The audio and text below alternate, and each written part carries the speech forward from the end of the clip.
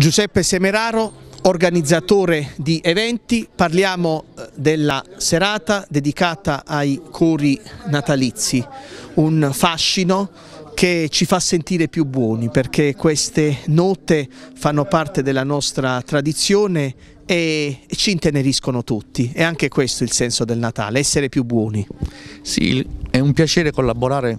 con l'amministrazione comunale di Leporano, col sindaco Angelo D'Abramo, con l'assessore Giovandolotta che ha voluto inserire nella programmazione degli eventi questo esclusivo evento che è la prima rassegna delle corali parrocchiali. Già come questo, per primo anno è, stato, è già un successo perché aver raccolto oltre alla corale di Leporano che fa da padrone di casa, quella del santuario Nostra Signora di Fatima di Talsano, quella di Faggiano e quella di Grottaglie, apre in questo clima di riflessione ma anche di preghiera l'atmosfera natalizia. È certamente positivo vedere l'associazionismo